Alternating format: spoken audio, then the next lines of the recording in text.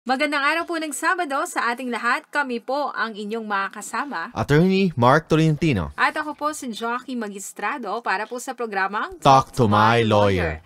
na bahagi po ng pinalakas na serbisyo publiko ng DWWW 774. Magsasama po tayo sa loob ng isang oras at kalahati sa pagtugon ng inyong mga usaping legal kasabay ng paghahatid ng mga dapat niyong malaman hinggil sa ating batas sa pinakasimpleng paraan na ating mauunawaan. Oh, yes. At kagaya partner nung ating ah, kumbaga opening salvo, Oh, eh yeah. sasagutin natin yung mga Oh, nakalipas na katanungan. Oh, as much as possible, hanggang kaya ko, sasagutin ko lahat yun. Abo, yun. At libre yan, di ba? Kaya sa bayad yan. O mamaya ito siguro partner before our program ends, si Rusty Ramos ay nag-text sa atin at sabi niya, ah, Attorney Mark Tolentino, sorry po to disturb you. Eh, may I know what day and time kayo available sa inyong office sa De La Salle University sa Manila? We need your help po kasi. Please advise for your schedule and God bless. As a De La Salle, I only go sa La Salle pag mag-lecture ako. But with respect sa mga kliyente or legal advice, ah, sa law office talaga. So, wala kong, wala kong ah, exact date or time. Depende yan sa availability ko. Sa, alam naman, dami akong ginagawa. So, tatawag lang sila sa number na ibibigay natin. Text lang doon, tatawag sila. And and first come first serve. May anyway lahat naman ng tatawag we will entertain. Hintay lang kasi sa daming tumatawag, hin- hindi agad masagot. But I'm sure within 3 to 6 hours, yung lahat ng text ninyo sasagutin. mm So, doon, tatawag sila sa contact details na ipoprovide mo later. Yes. ah mag-set po muna kayo ng appointments. Mm, tama, tama. Kasi yun nga, very busy. and very, sabi nga, eh, toxic Oh, ang toxic. schedule mo. Kaya Oh, yan. they have to find yung kung ano yung appropriate time and Ah, tama, day. tama. But definitely ah, kung wala akong hearing, wala akong mga media na trabaho, Mm-hmm. ah, nagbibigay tayo ng free legal advice sa law office ko sa Makati. Ah, oh, yun. Sige. Ah, ito partner, sabi niya, meron po akong naiwan o meron pong naiwan ang aming magulang na lupa. Apat po kaming magkakapatid. Yung kaparte ho namin dun sa lupa, o di apat nga sila, partner, ginawa ng bahay para ho paupahan. Okay. Kasama po ang tsahin ng kapatid ng father ko. Mahigpit o mahigit pitong taon nang tumatanggap ng upa ang panganay naming kapatid at yung mismong tsahin ko. Kaming tatlo hong magkapatid eh hindi ho nakakatanggap ng kabahagi nung ah, pinambabayad. Eh matagal na ho itong problema. Nagkabaranggayan na nga ho kami dahil dito wala pa rin hong nangyayari. So sana ho matulungan niyo po kami, si RJF ng Paranaque City. ang pinakamagandang gagawin nila with respect to that is mag ipa-separate na nila yung properties. Yun ang tinatawag na extrajudicial settlement of state and or extrajudicial partition of state. Kasi kailangan nila i-separate yun kasi as long as hindi pa na hiwalay or na divide yung mga properties, ah yung ownership nila over the properties, ang basis ng ownership nila is co-ownership. We say co-ownership kasi it's an spiritual ownership. Hindi mo alam kung saang parte sa iyo, sa likod ba, sa harap ba, sa gilid ba, so you do not know. So hindi mo pwedeng paalisin yung yung kapatid mo kasi he is also or she is also a co-owner. So ang pinakamagandang gagawin is to subdivide yung co-ownership ng property para at least you can maximize the enjoyment. Mhm. Uh, That's why nga sinasabi ko, bakit kailangan natin na ah, bawal ba yung co-ownership? Hindi man bawal ang co-ownership, but you cannot maximize the enjoyment of your property. Oo. Same also ng asawa mo, kung may iba. So you cannot enjoy, uh, you cannot maximize the enjoyment of your husband or your wife kasi may kahati ka. Kung may kabit, di ba? Di ba? Yun lang din eh. Mm. So same also with properties. So kailangan natin i-maximize yung ownership over the property. Hindi natin ma-maximize yun, yung, yung pagiging owner natin kung may kahati tayo. So you have to subdivide your properties. Yes, okay. So, yun. Ah, hmm. Si Johnny Pampanto ng Porac, Pampanga. May sakahan po kami, tabi ho ng local highway. Yung katabi naman po, nabili ng incheck. Tinambakan niya, nakapantay ho ng ah, highway. Pati na ho irrigation, yung kanal, na halos, ah, yun nga, kapantay pa rin ng highway. Dinulog ho namin ho ito sa kapitan ng barangay. Ang tinakpang irrigation canal, ang sagot ho, eh wala daw hong magagawa kasi kanya daw ang lupa. Tama po ba yun na kahit maperwisyo ang mga kalapit na lupa, Tsaka, di ho ba may conversion approval na dapat ang DAR o Department of Agrarian Reform? So, paano yan, partner? So, parang issue dyan kung ipa, yung properties ng kapitbahay mo, Mm-mm. i, i-level sa highway. So, anong, anong problema doon? Kung ang tubig, na peperwisyo sila kasi partner, yung irrigation canal, eh tinakpan nga. So, normally, kung, di ma, kung may irrigation ka na, kung tinakpan, pwede nyo i-reklamo yan. Mm-mm. But hindi niyo pwedeng i-reklamo kung na, na because le, ka-level na yun sa highway. Kasi ah, right din as an, as an owner eh. So, kung may right ka na pwede mong i-level sa highway, may right din siya. But with respect sa mga canals, yan, pwede, pwede mong i, i, kuan yan, i-reklamo. Eh, paano daw, partner, yung ah, barangay captain, parang wala naman daw ginagawa. So, Yung, yung barangay saan sila hingi ng Ah, yung psikolo? kapitan. Mm. Yung barangay captain kasi, ang purpose ng barangay captain, yung pag-file mo ng kaso doon is only for settlement. Mhm. So, kung wala feeling mo, walang ginagawa ang barangay captain, kung hindi makipag-settle yung kapitbahay mo, you can file a case, proper case, dun sa court. So, ah. Hanap, maghanap ka ng isang abogado na malapit sa bahay niyo, malapit sa city ninyo, mag-file kayo ng civil case with respect to that issue. Mhm. Eh yung ah, may binanggit siya dito, conversion approval from DAR o Department of Agrarian Reform. Um, Conversion of what? I think mga, pag mga Approval? conversion na ganyan, ah, conversion yata pang industrial to agricultural, mga ganyan. So, you can Mm. go sa sa city government ninyo, magtanong kayo kung anong gagawin ninyo doon. Okay. Ayan, thank you. Si Bert ng Botolan, Sambales. Um, Attorney Mark, ask ko lang, pwede ho bang ibenta ang one half ng conjugal property naming mag-asawa? Kung halimbawa, patay na ho ang isa, kahit wala hong pahintulot ng nabubuhay pang mga anak.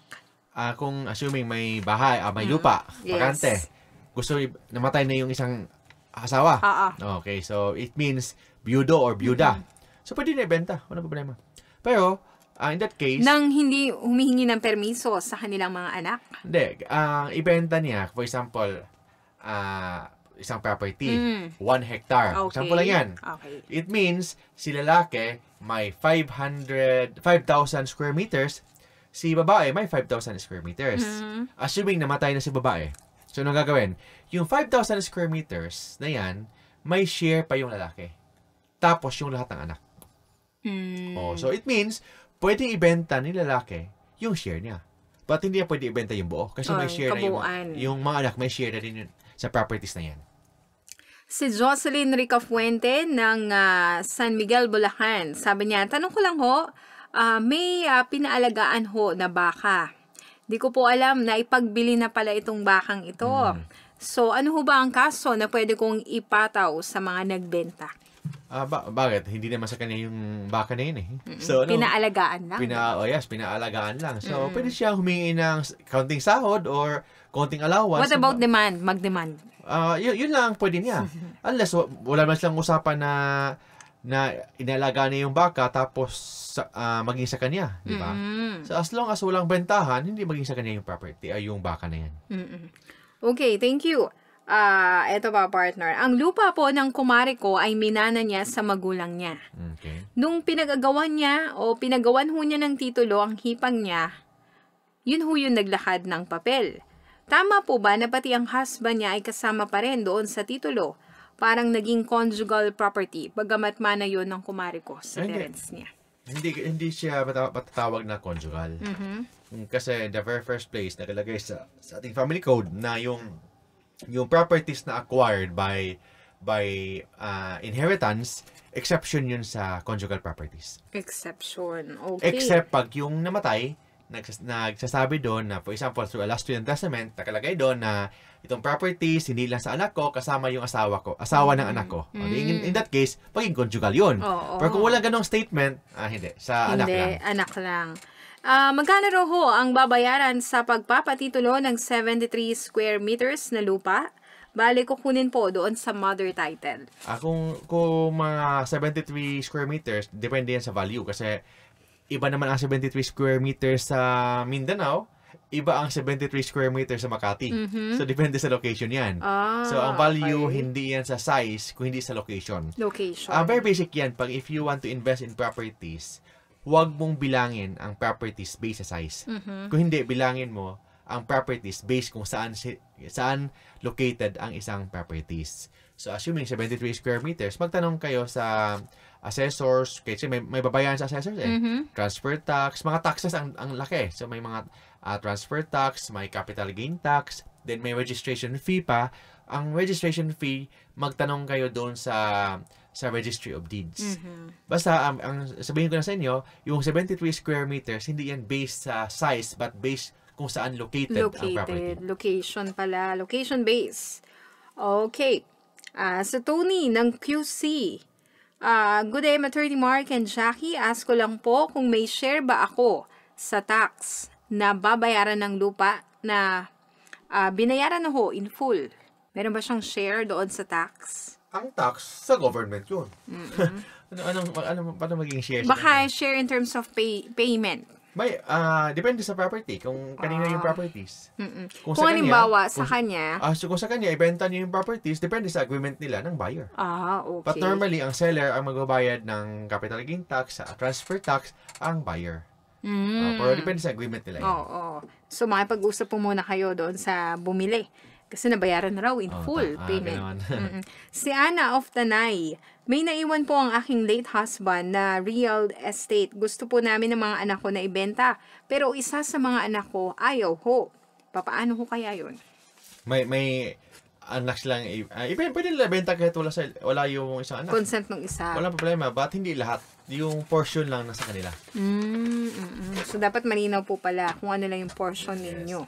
Or else, awayan. Oo, diba? oh, yan. Kasi family kasi, kailangan kasi, ah, nakalagay pa sa ating saligang batas na family is the is the basis, basic ah, Mm. parang institution of the society. So, it means yung nag-start ang society natin, nag-start sa family. That's why nga, tinanong ako sa sa sa province namin, kailan daw mag-start ang politika? Mhm. Okay? Yung mga debate-debate ba? Yung mga seraan ba? Hindi. Sabi ko hindi. Politics starts in the family. Bakit?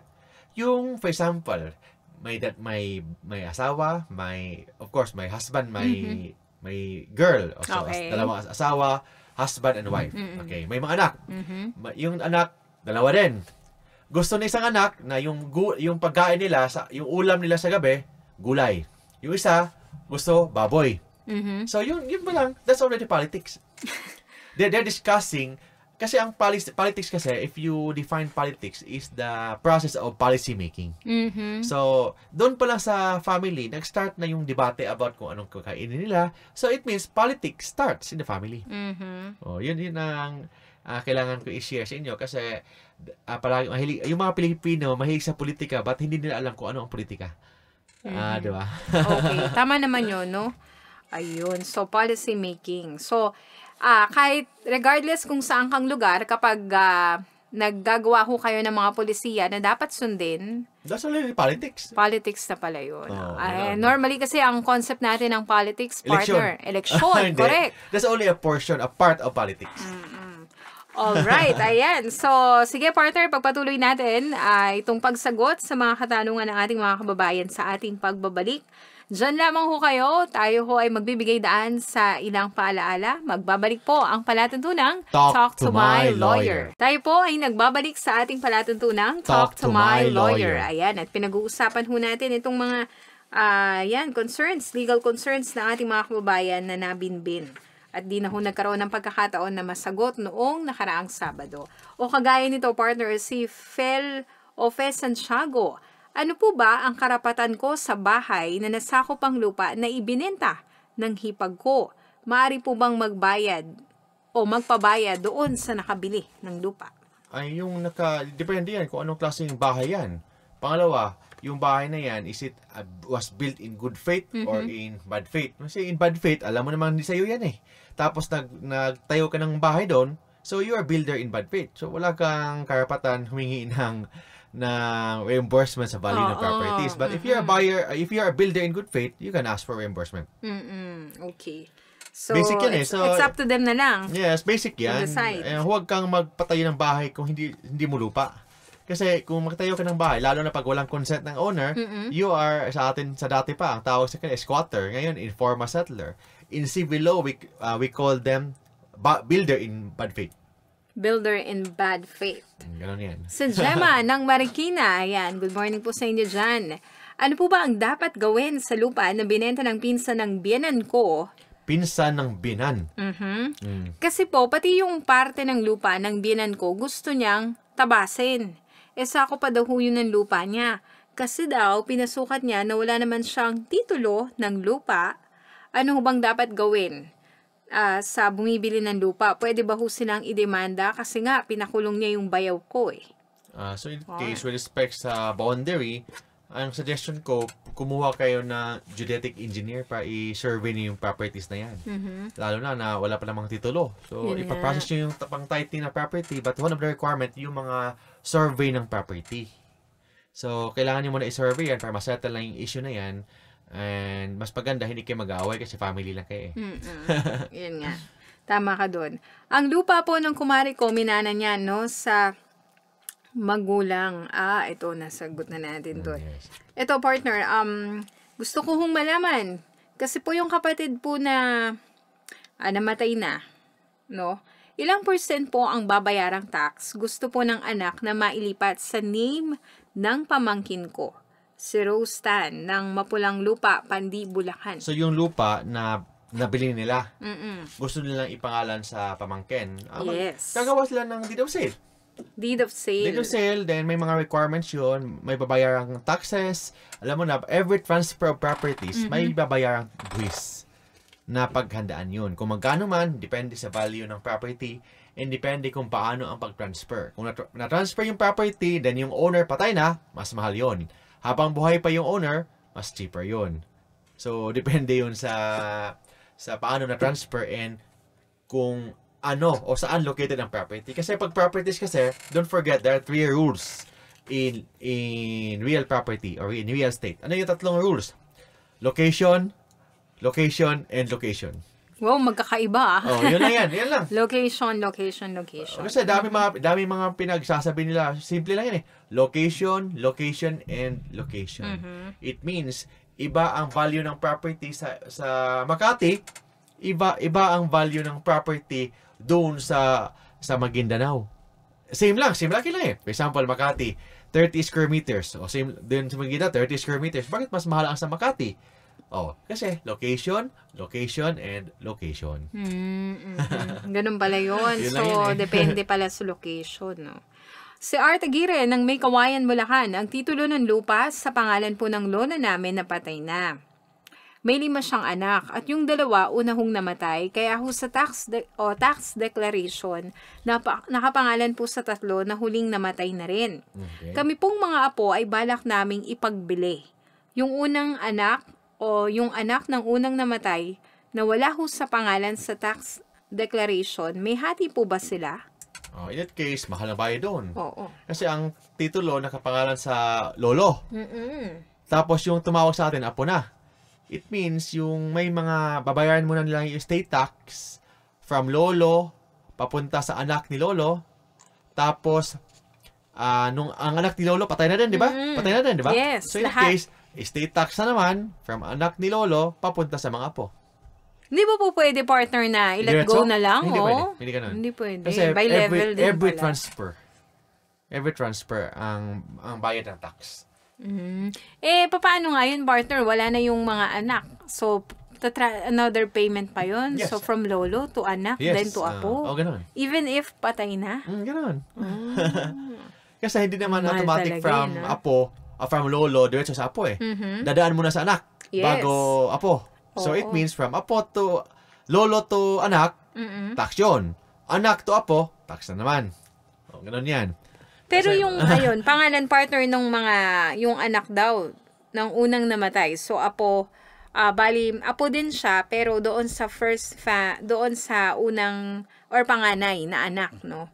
Wala sila sa tax declaration. Meron Okay ba lang. silang share Okay lang. doon sa property? Kasi ang tax declaration is not a proof of ownership. Mhm. It is a proof of possession. Possession. And may title naman eh. So yung yung titulo, ang, ang yun ang mag-prevail over the tax declaration. Mhm. Okay, ayan. Dito naman tayo partner sa mga kaso na ah, tinatanong nila kung anong kaso. Kung ang ah, treasurer at kapitan ng barangay ay nakagalaw ho no, ng pera o, sa budget ng barangay na ilabas po ng ah, ah, wala namang papeles.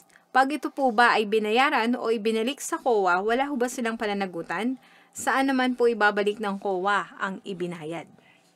May ganun ba, Parang partner? yung barangay nakakuha na... Kung yung treasurer and yung barangay captain daw, nakagalaw ng pera doon sa kanilang... Tapos isoli nila. Oo. So may may the mere fact kasi na kinuha yung proper yung public funds, that's already a liability. Mhm. So, pwede sila, pwede sila mag-file ng kaso sa ombudsman, pwede sila mag-file ng kaso doon sa sangguniang panglungsod o Mhm. pangbayan, mag-file sila ng admin case sa DILG, so dam- daming mga kaso na po- possible i-file. Kasi very basic yun eh, if you're a public official, you must be honest. Yun, Kasi- kahit ibinalik mo na. O, kahit na binalik mo, Mm, kasi pwede dami- ka pa rin makasuhan. pwedeng maging ma-mitigate, pwedeng ganon, but the act of kuan kasi pagkuha ng property, that's already a crime. Mhm. Eh, saan ba daw po pwedeng humingi ng saklolo kapag hindi agad nabayaran ang pera na inutang sa patubuan? Ah, dep- depende yan kung magkano ang value ng uh, magkano ang utang kasi normally pag below 100,000 ja i-download mo lang ang form sa small claims Mhm. dahil sa internet, Google, i-google mo lang yun sa website ng na Supreme Court, fill upan mo yan, then i-file mo sa court. Pag ma-file mo sa court, may filing fee na mga 2,000 mahigit, then wala nang hearing-hearing yan. Yun ang Mhm. small claim pag below 100,000. But more than 100,000, ang dami pang procedure. Dami, Mm. oo. Si Roland ng Laguna. Good day po, Attorney Mark and Jackie. Ask ko lang po, kasi po may gumagamit na ibang tao sa name at picture ko sa Facebook. Oo. At naninira po ng tao sa FB. Gayon ho eh, ganyan, dahil dyan sa nangyari, nagrereklamo na ho sa NBI. Yung umano'y sinisiraan ko. Mm. Dahil nga ginagamit ho yung aking pangalan. So, may ground po ba sila para ako ang maidemanda? Ah, hindi. Kasi i-prove, i-prove pa nila na ikaw yon yung Identity account na yun. theft, Oo. diba? Yes, yun lang yan eh. Mm-mm. So, mag-file sila ng kaso sa NBI, Cybercrime Division, doon sila pag-file para imbestigahan yung kaso na yan. Mhm. But, hindi, the mere fact na yung mukha mo nandun, hindi ibig sabihin na ikaw yun eh. So, there's a possibility na ginamit lang yung mukha mo. So, you can file a, pwede mong ireklamo yan sa admin ng Facebook. So, may mga link-link doon na pwede mo i-click, then i-report mo na hindi totoo yun. Mhm. Yung mukha na yun. Oo. Ayan, tama. 'Di ba Lalo na yung mga artista partner, ginagamit yung kanilang pangalan, Ah, 'di ba? yeah, hindi lang Yung ganun. even Sa- yung even in politics. Sure. Yes. In politics, yung may mga mukha na kahit, panin, kahit kanino, lalo na sa local politics namin.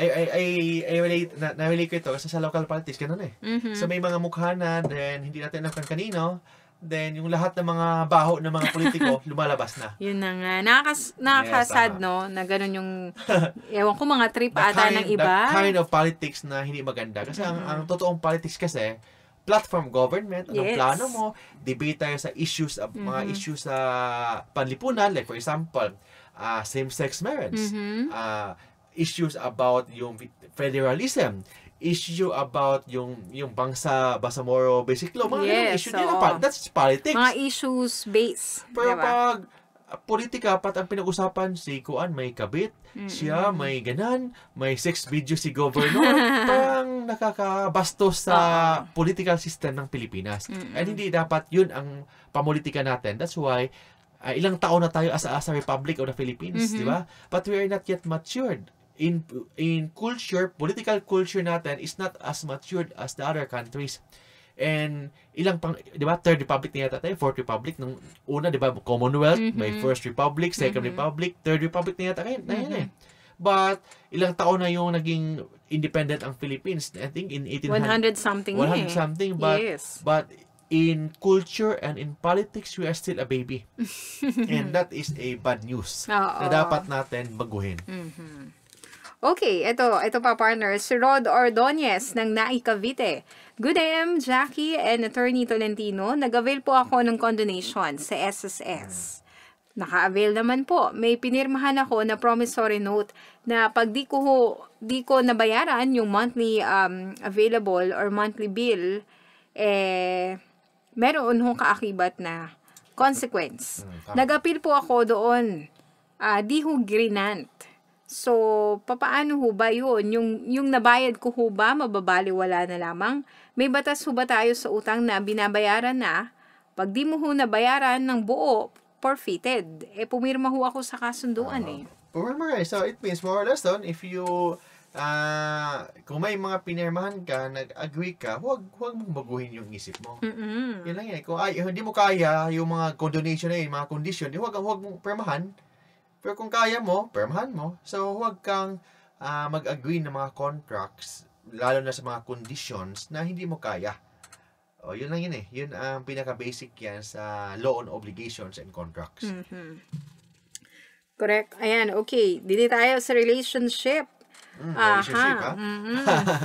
so, ano nakalagay ito, sa ito, ito. Dalawa yung na, na-receive Oh, natin. eh. mahilig yung mga Pilipino sa mga relationship relationship na yan eh.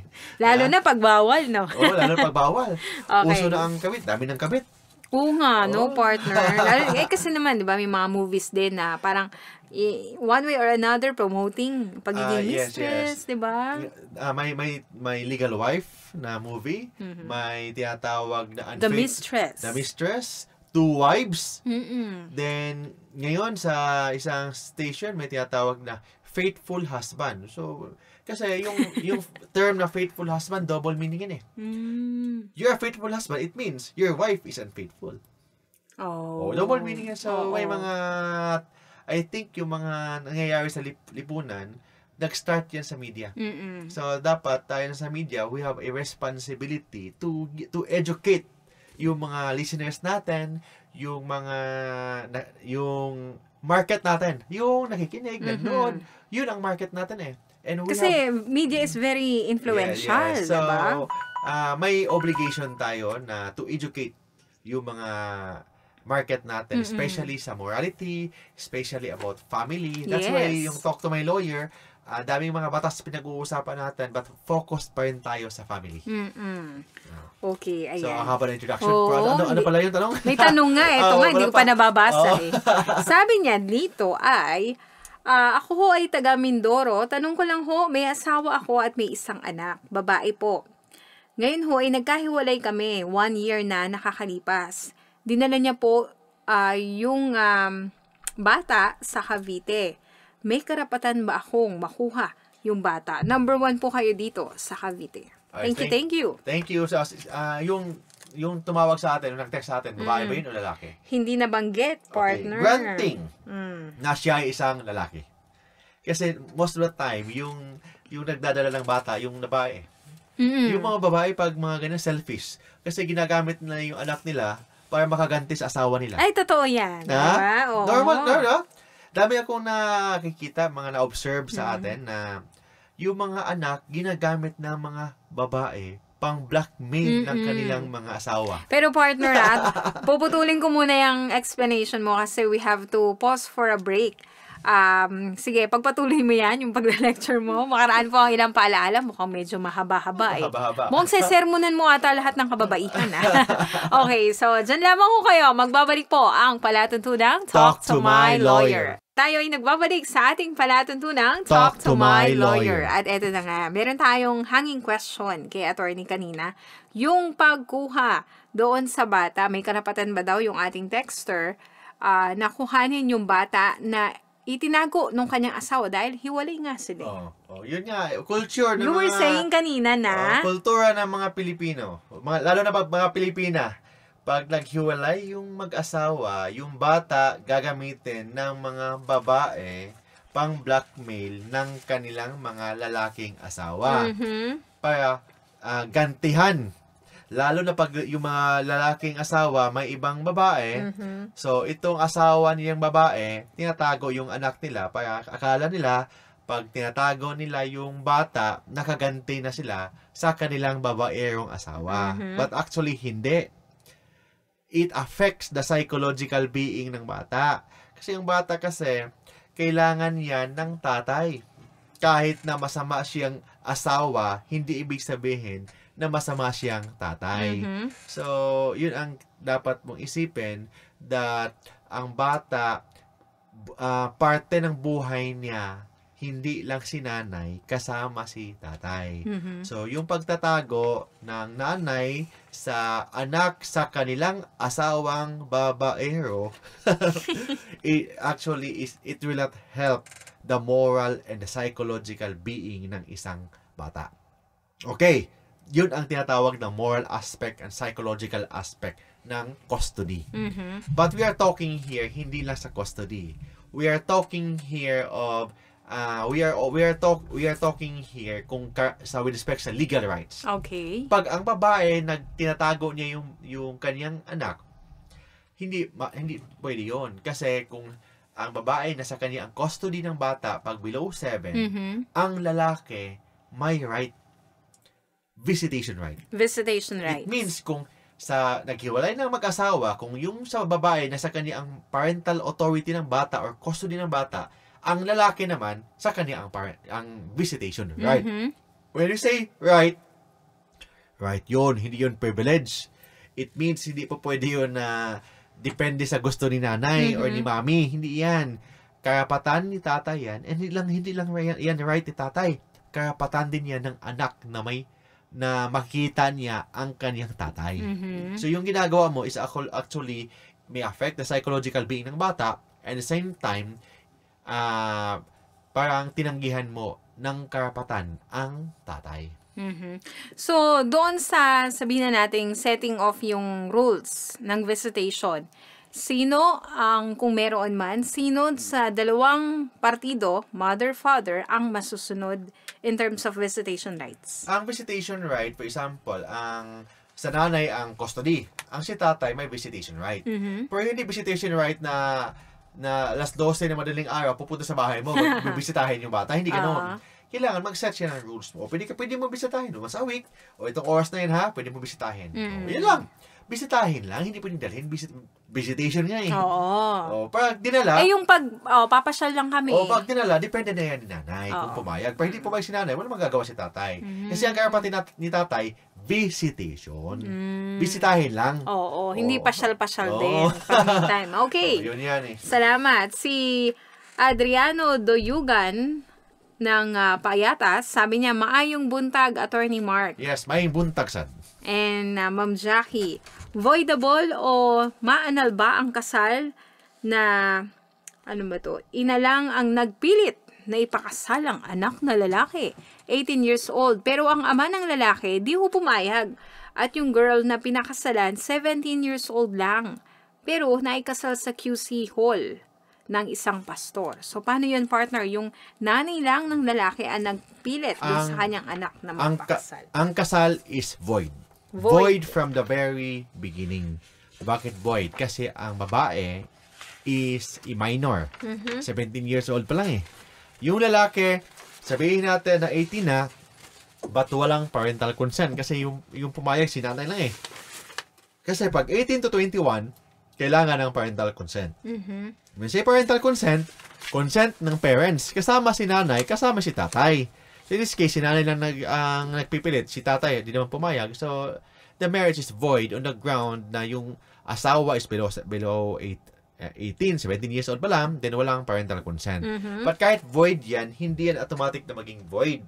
Kailangan pa rin ng declaration ng court, judicial declaration of nullity of marriage. Hindi yan automatic na maging annulled. Ha? Hindi hindi automatic. Kailangan ng mag-file pa rin ng petition sa court and the court will be the one to order or to issue a declaration that yung marriage is already void from the very beginning. So, hindi automatic na maging void ang kasal. Mhm. Si Rafael ng Navotas, ito partner may kinalaman naman sa adoption. Okay. Ask ko lang, paano po ko yung bata, ampon, Mhm. o inabando na, at hindi alam kung sino ho ang magulang. Paano ho mabibigyan ng apelido kung bawal i-apelido ah, yung ampon? Sa nag-ampon. Mm, Okay. sa nag-ampon, In that sorry. case, dadaan mo na kayo sa admin. Admin case before judicial. Kasi ang bata is hindi alam kung sino eh. Foundling. Parang kay- Yung sinasabi nila partner na Filipino ah, term, putok sa buhok. Mga ganyan. hindi lang putok sa buhok. Diba? Ah, napulot. Pinulot Oo, lang. pinulot. Kasi putok sa buhok is an illegitimate child eh. Mm-mm. It means alam ang nanay, aw, as ita- alam ng nanay, but yung tatay hindi alam kasi Ah. kasi dahil lang sa paggigimik, hindi alam na, bin- na nabuntisan. Okay. dahil, Ganun ba? Oh, may ganun eh. Ah, sige. Oh, di ba? La, uh, kahit ga, di source ng gabi, babaeng ah, dalagang Pilipina, ah, na, nalasing, ah, hindi na alam kung anong nangyari o na, nabuntis, hindi alam sino ang tatay. o yun. Suntok Ah, sa buwan yun, okay. ang tawag doon. That's why, suntok, kasi nasuntokan yung buwan niya, yung utak niya, parang ganon. But in this case, Mm. foundling ang bata. Like eh, si Senator Grace po na Oo. hindi niya alam yung totoong tatay niya, hindi niya alam yung totoong nanay niya kasi naiwan siya sa simbahan. Mm-mm. O ganun na eh. Ang bata is a foundling. Pag foundling ka, hindi automatic i-adapt yun. Mm-mm. Mag-file mo na ng, ng petition sa DSWD na Kung, kailangan. kung ikaw ay interesadong ampunin Ampunin. yung founding. Dadaan mo na sa okay? DSWD. DSWD Kasi ang, muna. ang custody ng bata, pag ang bata is a founding child, dun automatic sa ko sa DSWD. DSWD, okay. So mag-file ka ng petition sa DSWD, may or may procedure dun eh, Oo. to declare the child as available for adoption. Mm. Okay. So, parang may bidding din pala dun Oo. sa bata. ah. Pag available na for adoption ang bata, doon ka pala mag-file ng petition sa court for adoption. Mhm. Then ang magbibigay ng consent for adoption, yung yung DSWD. Sila ang magbibigay ng consent. Di ba? Normally, pag alam ang nanay at tatay, ang parents, ang biological parents, ang magbibigay ng consent Mm-mm. na i-adopt. Okay. Biological, meaning totoong tatay, totoong nanay. Pero kung wala lang tatay, wala tatay, ah, walang nanay kasi napulot lang. So in that case, yung DSWD ang magbibigay ng consent. Mm. So it means dadaan mo na sa DSWD, Okay. Department of Social Welfare and Development. dadaan mo na doon. Then pagkatapos doon, diretso na sa sa court. Mm, Ganun yan. mhm. Ganun pala, no? Then haba kasi may publication pa, ang haba. May kaso ako, 3 years yata na natapos o 4 years. Yung mas mas mabilis pa yung annulment kaysa adoption na Kaya yung iba, partner, hindi mo mai, kumbaga, masasisi na shortcut yung proseso.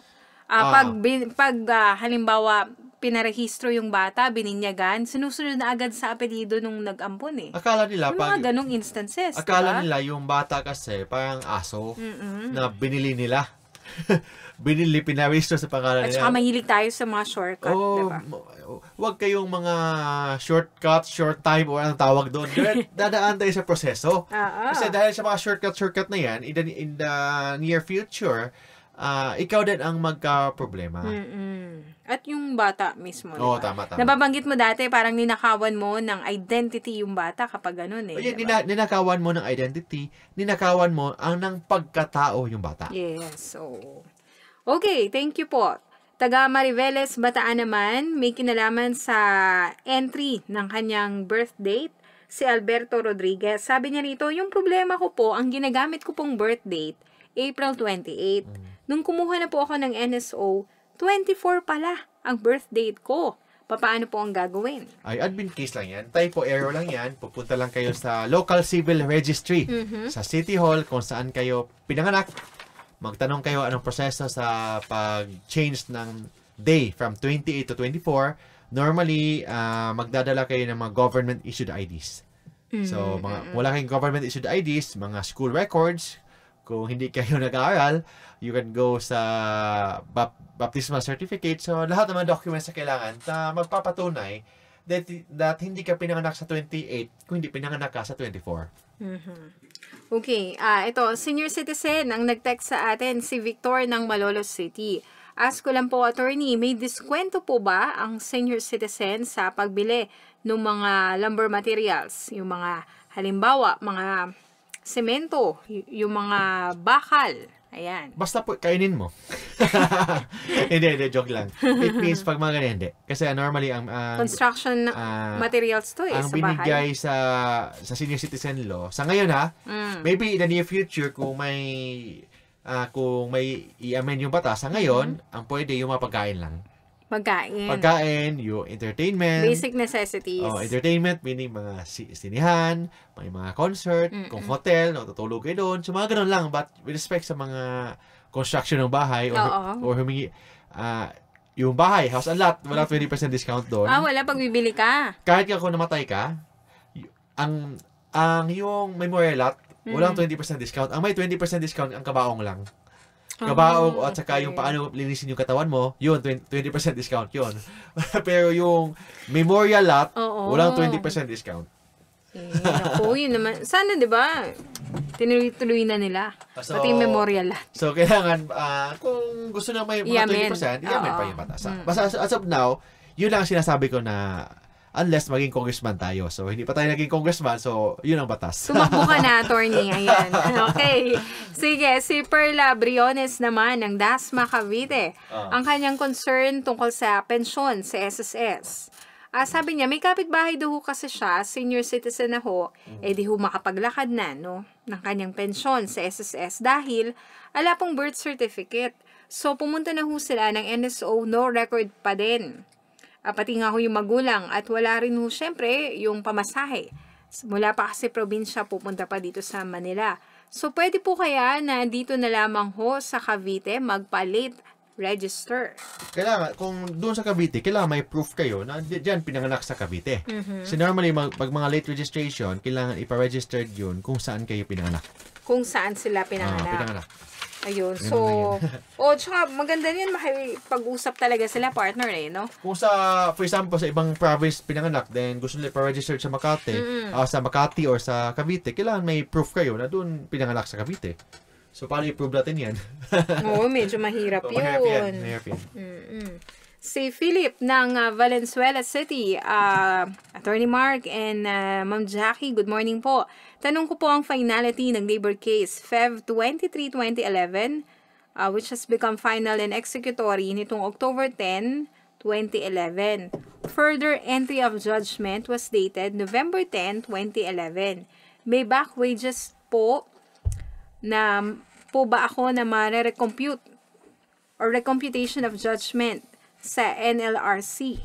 Salamat po. Ayan, talk to my lawyer. So, meron pa rin Meron ba? Yung mga back wages kasi pag naging final na yung decision ng court, o yung labor court, uh, from on the day that you were deprived of your salary. Hindi From the day you, you were deprived deprived. of your salary, not on the day na nanalo ang kaso mo. Ah. So, yung iba, yung pag nanalo ka sa labor, ang laki ng lamsa mo eh. Kasi ang computation hindi on the day na nanalo ka, kung hindi on the day when you were deprived of your salary. Okay, partner. Ayan. So, natapos natin lahat ng mga pagsagot no, sa legal concerns ng ating mga kababayan. Tayo ho ay mag station break mo pumuli tayo. At sa ating pagbabalik, ah, dadako na ho tayo sa ating topic proper. At ito'y may kinalaman sa... Ah, uh, usap pag-usapan natin ang anti-hazing law. Yung mga batas na about kung gusto kayo mag-apply na magsasali sa mga Fraternity, fraternities. sorority. O mga ganon. Mm. So, so pag-usapan natin kung ano yung mga karapatan mo, kung bawal ba yan or hindi ba yan bawal, ano yung mga condition Mhm. sa kung mag kung gagawa yung isang organization ng hazing. Mhm. Ano din yung mga mangyayari. Okay, so tayo ho ay magbabalik. Ito po ang palatuntunang Talk, to, My lawyer. Muli kayo po ay nakikinig sa ating palatuntunang Talk, to, My lawyer. At eto nga partner, no, nabanggit na natin anti-hazing law. Ano ba ang dahilan bakit nagkaroon tayo ng ganitong batas? Itong anti-hazing law, uh, actually may batas na tayo about yung mga physical abuse, physical injuries, kung so may slight, may less serious, may serious physical injuries pag namatay, homicide or murder. So may mga may mga kaso na may mga batas na tayo diyan sa revised penal code. But because ah parang dumadami na yung naging biktima ng hazing kasi sa mga fraternities, mga ganyan. So, may batas tayo na naghigpit. Okay? Mm-mm. But if you read the law, hindi pa rin binagbawal ang hazing. So, kung tanungin kayo, bawal bang hazing? Ang sagot ko, hindi bawal ang hazing. But may mga conditions. Mhm. Okay? So, yung ang word ng batas is anti-hazing law. But hindi Parang pala, go, going against the hazing law, eh, yes, di ba? anti-hazing law. But kung basahin mo yung batas, hindi naman anti-hazing kasi hindi naman bawal ang hazing. Hindi bawal ang hazing. Hindi bawal ang hazing sa batas. Pero may mga conditions, Yes. sabi mo, no? Ang nakalagay sa batas, ang title ng batas, anti-hazing law. For the word anti, it means bawal. Mhm. Pero kung basahin mo yung batas word for word, hindi pala bawal ang hazing. Mm-hmm. hindi pala bawal ang hazing. May mga condition lang na dapat sundin. That's why I don't know, that's why may, may nagsasabi na walang ngipin ang batas ng anti-hazing law kasi word anti-hazing, pero kung babasahin mo yung batas, hindi naman bawal ang hazing. Oo. Kaya yung iba yun yung concept eh. O, bawal yung fraternities, sororities, at iba pang organizations dahil meron tayong anti-hazing law. Hindi bawal ang fraternities, hindi ba hindi bawal ang sororities, yung mga organization kasi nakalagay po sa ating saligang batas that we have the right to organize. Kasi no man is an island. 'Di ba? So it means hindi tayo pwede hindi tayo mabubuhay na tayo mag-isa lang eh. Mhm. I don't know kung ako lang yata mag-iisa na wala akong kausap. Mabubuwang Bumubuhang ka. Lalo Oo. na na I'm so talkative. I, need, I need to talk. I need to see people. Kasi kung wala akong nakikita, per, was torture sa akin yan. Mm-mm. Oh, yun yan. Kasi we have a right to organize. I'm a social people. I'm a Mm. social person. So may mga tao na mahiyain. Of course, opposite ako niyan. like my wife, mahiyain. but, but in law, ang, ang, ang tinatawag, being a person, we are social person. Mhm. Kasi we're a social person, ah may, ma- may maepektuhan yung personality natin kung wala tayong kausap. Aha. Di ba? So it means we Yes. need to talk, we need to organize, we need to socialize with the other person. Mhm. Kasi kung hindi tayo makipag-socialize, tayo mag-isa lang, I'm assu- I'll assure you, kung hindi ka mabuang ma, mabobo ka. Ah, oo. Oh, yun, yun. Kasi walang interaction, di ba? Yun, yun, kailangan ka ganun. Oo. So hindi pwedeng ibawal yung organization. Mhm. Hindi pwedeng ibawal ang fraternities, hindi pwedeng ibawal ang sororities kasi that is one of our constitutional right. Pero how do you draw the line? Okay, sinabi mo hindi nga bawal yung mga grupong ito. Pero yung ginagawa naman nila eh. Halimbawa, ayun nga, may mga instances tayong na pa, nariringgan, nalalaman na may namatay dahil sa pagsali sa fraternities, sororities. So, Okay. hindi ba yun parang acceptable acceptable reason kung bakit dapat i-tanggalin na yan? Ah, yun nga eh. But Diba? problema, na, nakalagay sa ating saligang batas. So, Mm-mm. baguhin yung saligang batas. Yun, Okay? okay. Or we have to amend the Constitution. Then with respect to anti-hazing law, ang pinagbawal, ang infliction of physical injuries. Bawal yun. Mhm. But, psychological abuse, emotional ah, abuse, ah, gawin kang katawa-tawa. Di ba, may, if you want to, to apply for a fraternities, papahiyain ka eh. Oo. Oo, di ba? Papahiyain ka, pa, pa, suotin ka ng damit ng babae if you're lalaki, Mhm. uh, pasayaw-sayawin ka, o ganun. Tapos, hindi bawal yon Ang bawal, yung sinasaktan ka. May pananakit ng physical. Kung papahiyain ka lang, ah, gawin kang katawa-tawa, hindi bawal yun. Mm-mm. Sa anti-hazing law. It means, hindi bawal ang hazing. Ang Mhm. pinagbawal, ang mga infliction lang ng physical injuries. Okay. Yun lang ang pinagbawal. Yun lang. And yung mga, of course, yung mga rape, mga ganon, yung mga, ah, yun ang pinag- pinagbawal. Yung Mm. pananakit. But psychological abuse, mga psychological humiliation, mga Mm. ganyan, o hindi bawal. Humiliation. Okay. Eh, doon ba sa hazing laws, kasama dyan yung training procedure and practices ng halimbawa, military, police, ay yung mga CAT o Citizen Army Training and ROTC. Hindi kasama yun sa hazing. Kung approve ng mga head ng PNP, for example, Chief, Chief PNP, Secretary of Defense, and Chief of the Armed Forces of the Philippines, kung may mga approval sa mga head nila, hindi yun hazing. Pero kung walang approval, hazing yun. So, meaning to say, kailangan pa ng clearance coming from them? Ah, ta- tama yun. So, kung mga, yung mga training sa mga military, mga police, Oo. kailangan ng clearance ng head ng PNP or head ng military. Kung wala, hazing yun. Mhm. Meron bang instances, partner, na pinagbawal na itong hazing or sabihin na natin yung sa mga fraternities, sororities, yung initiation rights? Yung mga, Sa bansa. ini- yung mga initiation rights, hindi pinagbawal yon Hindi. But may mga conditions bago gawin ang mga Ayan na, initiations. oo. Ano yung mga kondisyon? Kailangan muna sila, yung isang organization, isang fraternity or sororities, kailangan muna sila humingi ng ng written notice. Magbibigay sila ng written notice sa school authorities.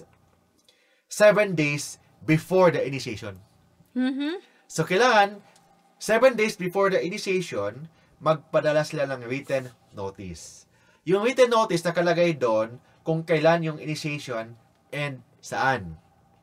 Okay? Kailan and saan, and it should not be more than 3 days. Kasi kailangan saan, ah, hindi po pwede na kahit saang lugar. Kailangan doon lang din sa schools. Ah, Mm, Ganun lang okay. yun ha. So, not more than three days, yung initiation. Initiation, Right. then nakalagay sa written notice na kailangan walang physical injuries ang mangyayari. Mhm. Tapos, hindi lang ganon. Yung head ng school, kailangan mag-assign ng dalawang representative ng school kasama sa initiation. Oh, Kasama. kumbaga parang ano ba, accessory pa sila doon? kailangan silang kasama sa initiation. Then may Oo. duty sila na kailangan ah, iwasan nila, kailangan walang physical harm. Otherwise, mananagot sila. Mm. So, yun ang, yun ang dapat. So, it means, pwede ang initiation, basta may written notice na sa school, padala nila, naka-indicate doon sa notice na yan. Seven days before ah, initiation. Seven ah. days before initiation, and kailangan naka-indicate within three days. Three days lang ang maximum sa initiation. Mhm. And, kailangan yung school magpadala ng representative, at least two representative. Na siya namang mag-check, ah, sisiguro na walang magiging physical injuries. Oo, tama yun. or infliction of ng physical injuries. Okay.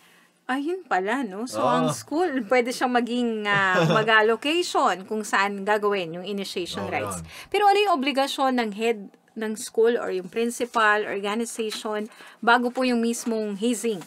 So, ba- bago mag, may, may hazing, of course, mag-issue yung head ng school ng consent. Mm-hmm. Di ba? In writing. Consent na, oh, sige, pwede, pwede, pwede na kayo mag-initiate yan. may consent. Mhm. Then, may duty sila na mag-appoint ng dalawang tao. Oo. to parang duty na yung dalawang tao na yan, representative ng school, authorized na nandun, Oo. and kailangan yung dalawang representative may duty na ba- bawal talaga ang mga physical injuries. So, kailangan sila ang mag-stop. Na walang physical injuries, ha? pwede humiliation lang, pahiyain mo lang yun, but hindi pwede mag-inflict na physical injuries. Mm-mm. Okay. So, may permiso na manggagaling dapat sa head ng eskwelahan o organisasyon. Oo, tama. Mhm. Halimbawa, partner, eto na. Yung newbie or yung neophyte, eh, dumating sa punto na yung initiation rights sa kanya, naging sanhi ng kanyang pagkamatay. Oh, in that case, O oh, talagang yan. matindi siyang nasaktan. Papaano na? So, in that case, pag nasaktan yung... Sino yung, ang malalagot? yung ah, pag nasaktan yun, may yung officers and members who actually participated shall be liable as principal. So, yung nag-participate doon. So, liable as principal yun.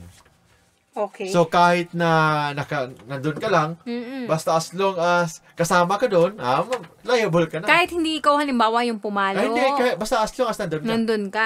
Meaning to say, partner, doon sa, re- doon sa consent ba dapat o doon sa written notice na ibibigay ng isang grupo ah, doon sa school ah, authorities, dapat ba nakaspecify doon yung name ng participants? Mas maganda, naka-specify. Ah, oo. pwede- pwede- pwede Para mas madaling, school. oh, yes. madaling hanapin, di ba? Naka, na- dapat lang talaga naka-specify. No? Mm-mm. For their protection din naman. Oh, eto na. Ano ang kanilang parusa? Ah, depende yan sa epekto. Effect yun eh. Pag may namatay, reclusion perpetua. Mhm. At least mga 30, year- 20 to 40 years na kulong yun. Pag may namatay, pag wala naman namatay, temporal lang yun. Pag temporal, ah tw- nasa mga 20 years ang maximum na penalty Nakulong. o nakulong. Mhm. So, yun yun. Pag, pag mga konting galos lang o pwedeng mga less physical injuries lang. So, Mhm. ang kulong doon na mga, nasa mga 6 years o to 12, mga ganun lang. Mhm. Okay, ayan na. So, it means, ang penalty, depende sa, sa damage na nangyari. Depende sa damage ng nangy- ah, naging epekto ng hazing. Oo, eh, oh, naging epekto ng hazing. Oo. Ah, pero ngayon, partner, doon sa mga ah, nababalitaan ho natin, parang wala naman masyadong napapanagot. Oh, yun eh. Di ba? Yun ang problema. Ang, ang batas nga natin, walang ngipin. Mm-mm. Kasi first, hindi anti-hazing law, pero hindi bawal ang. Mm-mm. Di ba? Parang ironic eh, no? Ironic. Then, pang- pangalawa, may may hazing ba na approved by the school? Palagi wala approved sa school Yes, eh. Yun na nga yung... Itong batas, walang proper Sabihin ko. implementation. Kasi hindi na-implement kasi first, ah ang nakalagay sa batas, kailangan may written notice. Paano maging written notice? Sino pang papayag na school? Mm-mm. Wala papayag na school. 'Di ba? Kasi una, una, ang ginagawa ng school, pinagbawal ang fraternities. Hazing. Oh, Ang fraternities pinagbawal Sorry. nila. Mm-mm. Pag pinagbawal lang fraternities, kung may nangyari, sabihin nila, oh, wala kaming kasalanan kasi pinagbawal namin yan. Mm-mm. Actually, yung ginagawa nila, mali yun. It will not help. Mas lalo pang napupush yung mga kabataan na gawin sa labas. Gawan, diba? gawin sa labas. Kung i- initiation. nila lahat ng fraternities, tapos with certain conditions, Mhm. certain precaution, baka wala pa mangyari. Sa ginagawa nila na parang lang si Poncio Pilato na nagugos kamay, ayun ang problema. So that's why Oo. maraming na, na, na biktima. Okay, oh, totoo naman yan. Pero yun na nga, partner, meron bang pananagutan pa rin yung head officer ng school, military police, or yung CAT organization as a whole? Kasama rin ho ba sila doon sa mga mananagot?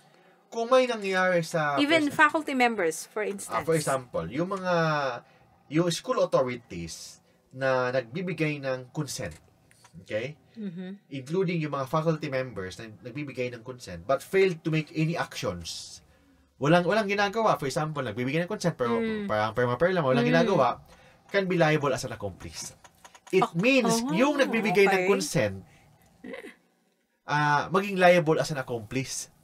Okay, accomplice pag may, may criminal liability. That's why walang ngipin nga itong batas na ito. Sinong school ang magbibigay ng consent?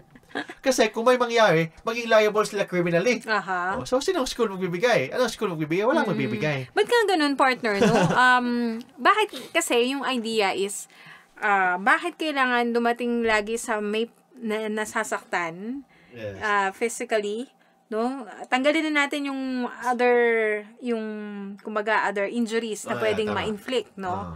Ah, pero bakit kailangan laging may matinding physical encounter? Mm, 'Di ba? So bakit ganun? Ganun ba Ah. talaga yung concept? Ay ikaw being a a member din. member ako ng mga sa fraternity, sa isang fraternity. Ah, tradition.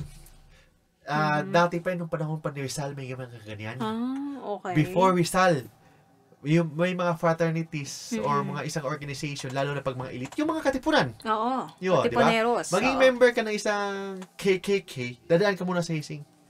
Mm. So, may historical background.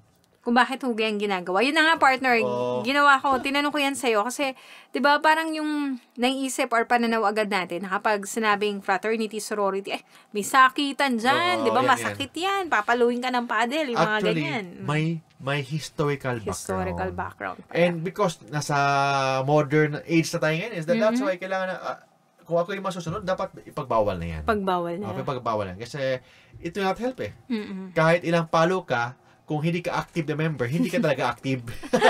Correct. Oo. Oo, di ba? So, it, hindi ma-test yung pagiging loyal mo sa isang organization sa ilang palo ang natatanggap mo. Mm-mm.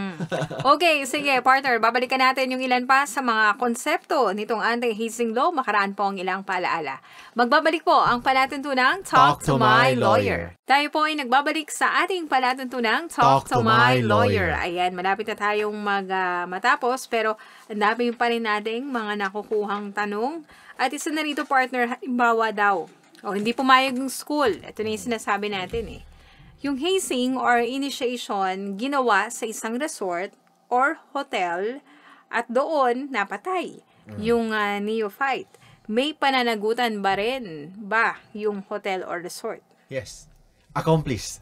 Accomplice. Accomplice pag alam niya na may hissing but wala siyang ginagawa.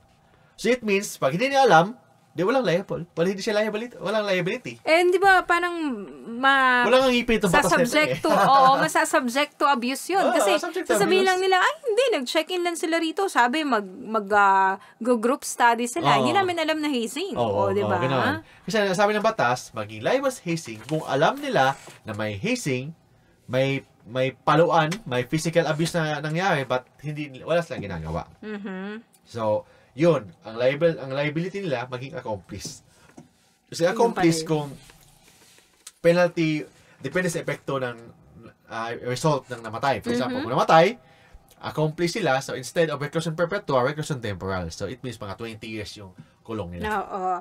Eh, paano ho naman kung ang hazing ay ginagawa sa bahay ng isang member ng fraternity, may pananagutan pa rin yung magulang ng mismong miyembro na binitbit pa yung kanyang grupo doon sa bahay. Yung magulang, maging liable din ang magulang. May liability Okay? rin. Maging liable din kung ang magulang alam. Alam niya na may may hissing but wala siyang ginagawa. Mhm. Oh. Eh pag halimbawa, yung both parents nasa ibang bansa, But ang magulang, please take note, ang magulang shall be liable as principal. principal, hindi Principal ang accomplice ha. It means, kung anong, kung may namatay doon, ang magulang maging liable din doon. Kung alam ng magulang. Oo. Oh, yan, yan. Kung alam ng magulang. Kapag wala, kung wala, wala din. ay nako. Oo, Oo, ganun yan, ganun pala. Oo. So, principal sila So, pwede. pag owner ng hotel, accomplice. Pag magulang, Principal. Principal. E paano nga yun, partner? Kung halimbawa yung anak ay nagpaalam lang na dito lang kami ha, mag, ah, mag slip over lang yung aking mga kabarkada. Hindi naman sinabi dun sa magulang. Pumayag.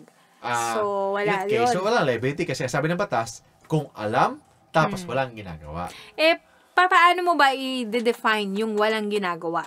Yung walang ginagawa, alam niya, tapos may, ah, alam niya na may hissing, that's why, kailangan niya i-prevent yung mga physical injuries. Mhm. Kung hindi na prevent yung physical injuries, may presumption na wala siyang ginagawa. Ah, di ba? okay. Ayun, ganun pala. Eh, paano halimbawa, partner, may consent? Ayan, both parents nasa abroad. Okay, pinayagan. Kasi halimbawa, si tatay ay miyembro naman ng isang fraternity Oh, yes. and si nanay may sorority group din. So, pumayag naman sila. Nasa ibang bansa sila. Um, papaano nila, ah, kumbaga, eh, magagawa yung kanilang obligasyon na tiyakin na walang physical harm kasi nasa ibang locality sila or Ah, location. In that case, hindi sila maging liable kasi uh, anti-hazing law is a criminal case. Mhm. Walang jurisdiction ng Philippines. Mm. Oh, so, so it means malidismiss ang kaso sa kanila. Ganun pala yun. Ayan, so okay. Halimbawa naman, ayan, yung alumni partner, yung mga naunang napadel. Oh, Meron ba silang ah, liability? yung mga alumni Pag may namatay o nasaktan. ah, who actually plan.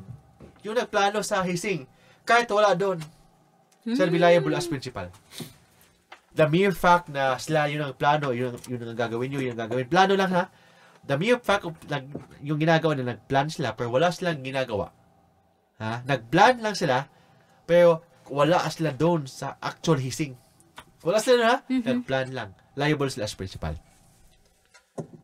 Ay, ganun ba? Ganun ganun, ganun. Kasi iniisip natin, baka yung presence, di ba? After tayo dun sa presence na nandun si ano eh. Ah. Eh, this one, wala eh. nag- kasa- Plano lang. Basta may proof na kasama sila sa plano. Oo. Kahit wala sila doon sa actual hazing site, Mm-mm. maging liable sila as principal. Okay. Pero ano yung mga proof na po pwedeng magpatunay na sila yung nagplano? Ah, so yun yun ang get through testimony. Oo. So yun na mahirap i-prove ngayon. So Diba? ang batas nito wala kang ngipin. That's why kailangan natin ito. Ito natin pinag-uusapan.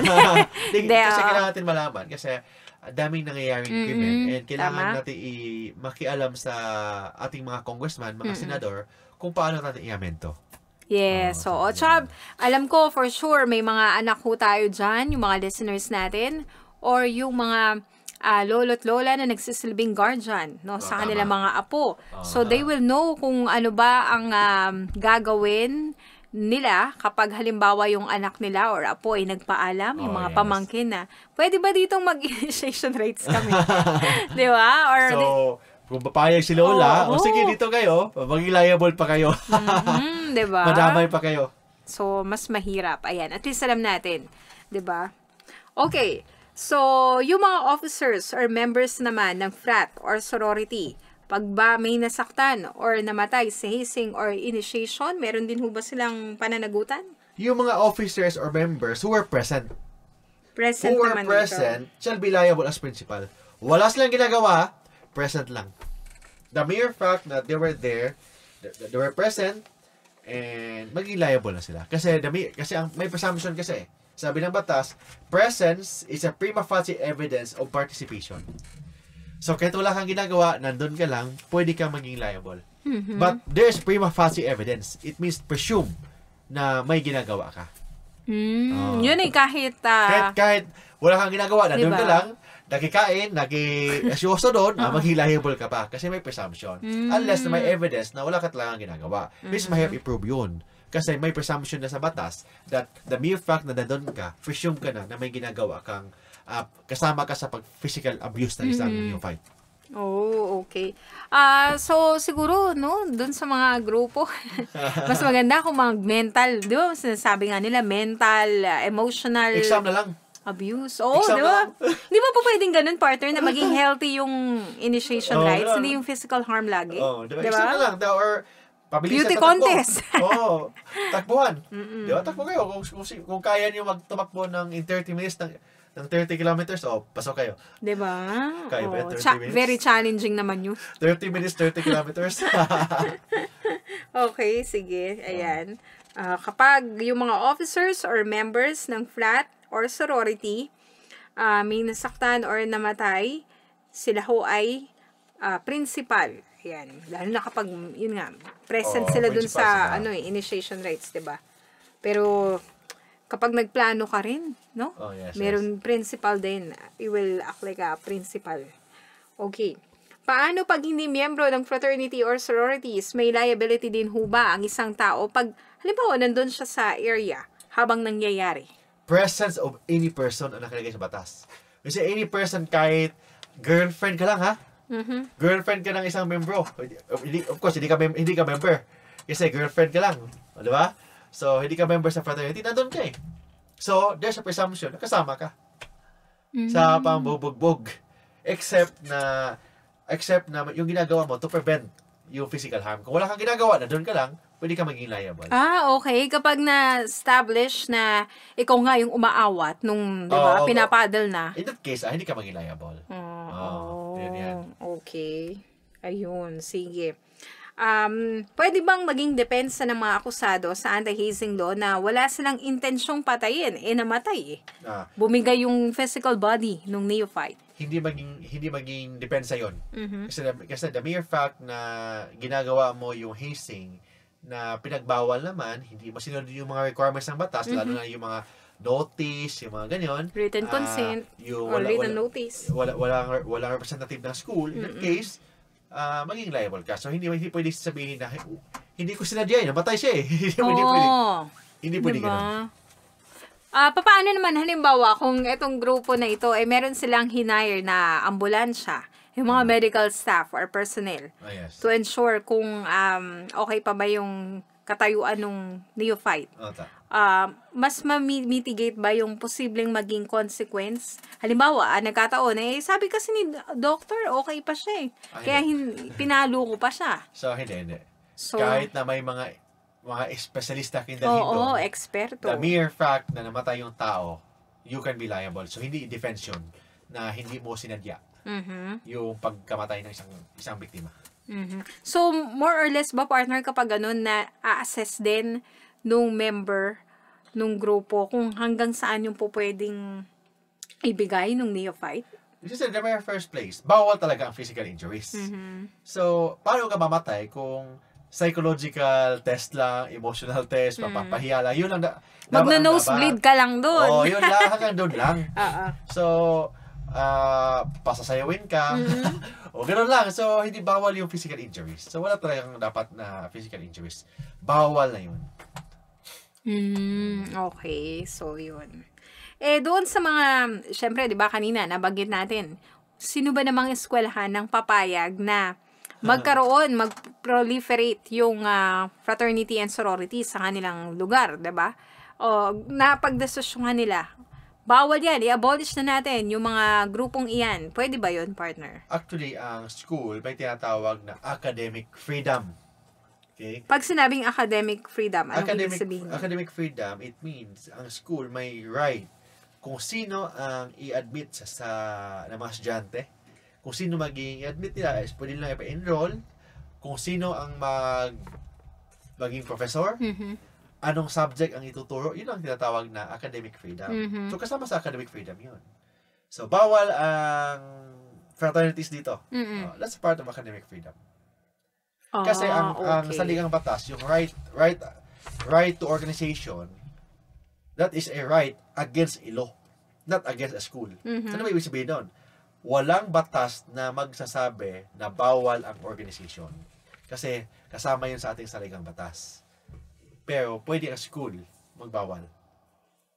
Dinawin mo nga, partner. Alam? Um, Kasi ang Bill of Rights, yung, yung ating tinatawag na saligang batas, mhm. yung ating Karapatang karapatan, pantao. Oo. that is a right against the government. Mhm. Hindi yan right against the school. Mhm. It means, ang government bawal mag-issue ng batas na pinagbawal ang organization.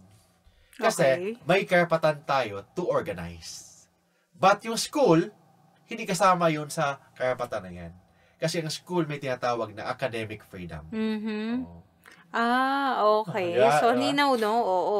Yan? Dahil, ah, minsan, kasi yun na nga, partner, I was about to question you na, eh, sabi mo, sir, um, hindi pwedeng ipagbawal yung fraternity, sororities, Nag-apply lang yan sa, bat, sa government. pamahalaan. Oo, pamahalaan. Ayun. So, hindi siya applicable sa mga eskwelahan. Oh, Kaya, yes. yung iba, ah, nagtataka din eh, bakit ganun? Merong um, ah, fraternity, sorority sa isang eskwelahan, tapos doon sa iba namang paaralan, wala. Wala, walang ganun. Diba? Oo, ganun yan. Pero may mga tendency pa rin talagang tinatago lang. Tama. That's why nga, hindi makatulong yung. It will not help. Mm. So, in general, partner, ibig ba sabihin yan, eh, sang-ayon ka sa anti-hazing law o kailangan na talagang i-amend? Kailangan itong i-amend. Kasi Mm-hmm. sabi ng batas, anti-hazing law. Pero kung basahin mo yung batas, po pwede pala. May hazing pa rin. Bawal lang ang physical injuries. Mm. So, I think kailangan itong i-review, lalo na sa yung mga obligation ng schools, ah, yung mga duties ng mga head ng schools, head ng organization, and kailangan mga ganun eh. Kasi kung yung, yung sabi ng batas, the mere na kailangan may consent, tapos nandun yung dapat may representative ng isang school, Aha. pero wala namang proper implementation eh. Hindi naman nasa doon eh. mm So, kailangan, I think, kailangan itong i-review. Mhm. Okay, sige, partner. Babalikan pa ho natin yung ilan sa mga pwede ho natin itanong kay Attorney Mark kaugnay ng anti-hazing law matapos po ang ilang paalaala. Magbabalik po ang palatuntunang Talk, to, My lawyer. Kayo po ay patuloy na nakikinig sa ating palatuntunang Talk, to, My, lawyer. Ayan, pinag-uusapan natin po yung anti-hazing law. At sabi nga ni Attorney Mark, ay it's about time na i-amend na itong batas Yes, na ito. i-amend na yan kasi may batas nga, wala namang ngipin. So, da- daming nakalusot. Okay, daming nakalusot, lalo na sa mga... Actually, yung haze, yung fraternities, may portion na maganda, Mm-mm. mayroon ding hindi maganda. Eh, eto na, partner. Papasok na ako doon sa personal, kumbaga, question ko sa'yo. Ah, yes.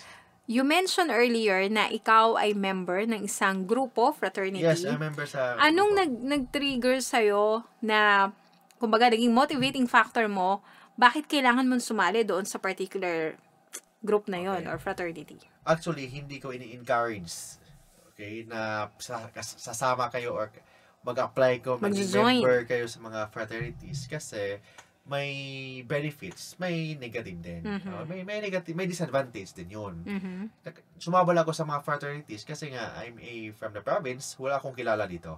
So I need to sa akala ko before na if I join a fraternity, maging marami akong maging kila, makilala. Kumbaga, magkakaroon ka ng sense of belonging. Di ba? Parang tinatawag instant friendship. Mhm. Kasi pag wala wala ganoon, so you need to establish friends, kung sino 'yan.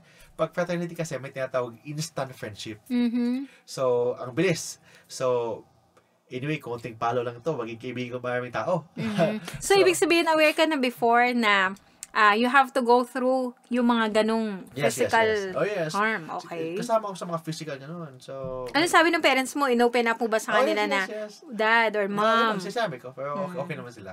Uh, natakot konti, but okay naman. Oo. Okay. So, pinaliwanag mo Oh, yung, yes, yes. yung, So, Magiging suma- ako consequence. doon. Sumama Okay. ako doon. Then, pagkatapos, pag may mga notes, Mhm. l- lalo na pag law student ka, may, may kailangan ka ng mga notes eh.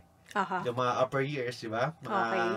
bibigyan tayo ng notes. Mm-mm. Libre na yun. Yung ibang walang, kung hindi, kung hindi ka member ng fraternity, wala kang ganon. Mhm. O, di ba?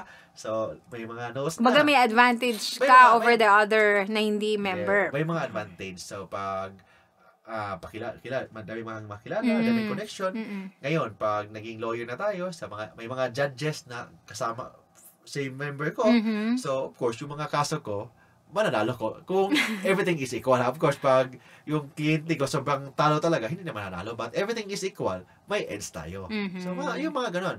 May mga piskal tayong mga kilala, may mga congressman, may gobernador, may presidente, Mhm. possible president ngayon. So, so yun ang mga magiging connection. So, Aha. but may mga disadvantage din. Okay, dun tayo sa disadvantages. Ang disadvantage, yun nga, required ka, may mga meeting. Meeting doon, meeting dito, activities doon, activities Mhm. dito. So, wala ka ng oras sa sarili mo. Mhm. Kasi, palagi ka doon eh. Aha. So, so yun ang mga disadvantages and advantages. Mhm. Pero kung if you are really a social person, we say social person, ah marami kang gusto kong dami kang kausap, Mhm. daming kilala, Mhm. mas maganda ang may fraternity. Pero kung loner ka, hindi ka hindi ka kailangan ng fraternity, mas stress ka.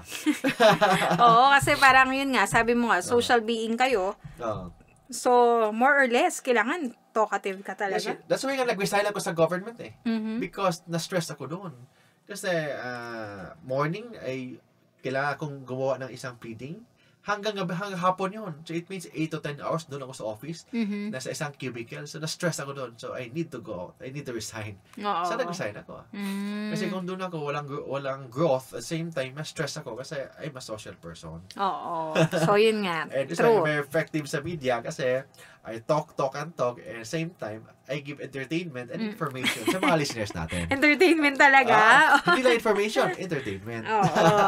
Ayan. Kasi nga, partner, di ba, you make it a point na matake nila lightly yung bigat Ah. ng mga sinasabi mong technicalities. Kasi ang batas Diba? kasi sobrang ah, mabigat, Mm-mm. mahirap basahin. Ma- If you read the law, hindi mo maintindihan eh. Oo. Lalo na yung mga civil code. Para siyang chapsuy. Parang pagkain, yung batas ng Pilipinas, parang chapsuy. Mhm. Ano ba yung, bakit chapsuy? Kasi kung basahin mo yung batas word for word, hindi mo maintindihan. Mhm. Bakit? Kasi for example, Article 1, ang kuna ang next basahin mo, oh, hindi Article 2. Doon ka sa Article 100. Oo. Pagkatapos doon, ang connection naman doon nasa fif- Article 50. Pagkatapos Article 200, naka para siyang chapsuy na hindi mo Halo-halo. maintindihan. Oo. So kung wala kang more on ay wala kang uh, analogy, wala kang more sa logic, hindi mo maintindihan yung batas. Kasi I'll try my best na to explain it in a simple way and maintindihan ng lal- ng masang Pilipino. Mm-mm. Ah, ang challenge ko, hindi ko kailangan, hindi ako ma- maging masaya kung Mhm. i-explain the law sa mga college graduate, mga uh, fellow lawyers ko, hindi ako maging masaya doon. Mas masaya ako kung ma-share ko yung legal knowledge natin sa yung grade 1 lang, pero makaintindi sa batas. Mhm. Oo. So, masaya ako nun. It's my challenge sa akin. So, hindi nga ako na, napa, nakapaniwala na nandito tayo. Dream come true, no? Tsaka Ah. dito ka talaga na linya. oh, yes, tama. Ayan. At, ah, well, marami rin nagpapasalamat kasi nga, biro mo partner, yung consultation fee lang, di ba? Ah, Sa isang abogado, eh, kamahal na. I tried. Okay. O, yung iba na stress talaga. Kasi yung ibang lawyer mag, mag-explain sobrang technical. Tsaka yung iba, ewan ko, ah, marami ako nakausap na Ah. nagpupunta ang mga listener dito sa stasyon natin. Ah, sinasabi po nila na Naku, yung abogadong nauna kong nakausap bago si Attorney Mark, eh, sinasabi wala na akong tsansa. Oo. Talo daw tong kaso ko Oo. dahil ganito, Oo. ganyan. Pero nung nakausap ko siya, sabi niya, ang laki ng potential na manalo ako. Oo, yung mga ganun. ganon. So, no wonder, marami nga nagpupunta rito sa stasyon. Pero, yun nga ho ah, paalala ko rin, no, na mas mainam ho kasi hindi na rin kayo ma-accommodate ni Attorney Oo. Mark. Lalo na pag Saturdays, I have three programs. Yes, so, oh. I have three programs and... So, the best way they can sa do... office lang talaga. Mm-mm. Kasi every Saturdays ngayon, so nag-start tayo 6 o'clock in the morning hanggang 11. 11. So 11, 5 hours yun. yes, Diretso oo. yan. Totoo so, yun. hindi ko kaya makipag-entertain sa, sa ibang tao kung pupunta. Sa law office lang talaga. Sa Mm-mm. ngayon. Yung mga listeners natin, kung may mga problema kayo sa batas, for free legal advice, sasabihin nyo lang po na listeners po kayo, na, kayo ng Talk to My Lawyer. Mhm. Wala pong bayad yan, ha? So, yung landline po natin, 209-6203. Or sa mobile po natin, pwede po kayong tumawag or mag-text sa 0917-329-5353. Ang promise po natin, kung mag-text kayo within 6 hours, may sasagot. Mhm. Okay. Hindi hindi within 6 minutes kasi sa dami. hindi namin kaya. So, within 6 hours, half day po tayo, just bring any documents. For example, pag may problema kayo sa asawa ninyo. Yung asawa ba dadalhin? Ah, hindi ah, asawa. Hindi, hindi, hindi. Okay. So, dadalhin nyo yung mga marriage contract, Yan. birth certificate, Oo. kung lupa naman, mga titulo, mga, mga ganun. So, huwag kayong pupunta lang na wala kayong Sarili nyo lang yung bibit nyo. So, just bring documents para mabasa natin and I can, I can give proper advice. Yung last week, may namilit sa akin na Mm. bayaran ako, hindi ko talaga tinatanggap. So, ang ginagawa, nahiya sa akin, Oo. ah, bumili ng cake. Hmm. so, cake lang kasi. Tinanggap ko na yung cake. Talaga, ayun nga eh. Kasi yung iba talaga, alam naman natin kapos sa Oo. pera, di ba, Okay, financial. so- At ah, kung hindi ho talaga kayo makakapunta doon, pwede nyo naman hong i- email dito sa estasyon yung mga necessary documents nyo, yung mga tanong nyo ho kapag hindi ho talaga kayo ah, ma-text na tao. Ah, kasi iba partner, ganun yung ginagawang style. Sulat. Sulat sila. Sulat Just sila. write a letter, then ipadala sa station ito. Mm-mm. Then I will I will answer that every Saturdays. Okay, sige. Ganun na lamang ho, no? Ah, okay. Bibigay ko naman yung address ng ating himpilan. So, ito ho ang himpilang DWWW 774 Unit 808 Atlanta Center, Annapolis Street, Green Hills, San Juan. Unit 808 Atlanta Center, Annapolis Street, Green Hills, San Juan. So, dyan nyo ho padadala yung inyong mga mensahe, katanungan, legal queries kay Attorney Mark. Isang Sabado na naman po na punong-puno ng kaalaman tungkol sa batas ang natapos. Kami po ang inyong partner sa batas. Attorney Mark Tolentino. At ako po si Jockey Maestrado, ang inyong abogado At Maestrado. sa palatuntunang Talk, to, My lawyer. Susunod na po ang programang Doctor's Orders kasama sina Dr. Jaime Galvestan at nurse broadcaster Natalie David.